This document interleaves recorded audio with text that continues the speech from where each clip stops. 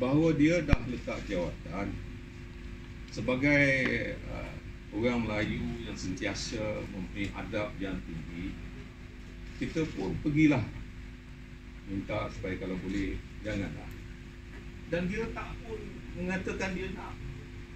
Hanya selepas beberapa lama barulah dia kata okey terima balik. Dan ketika itu perjalanan parti telah pun terus diteruskan oleh pemangku uh, uh, apa ni, pemangku pengerusi. Maka oleh kerana itu sudah jadi kecoh apabila orang bertanya yang mana satu ni?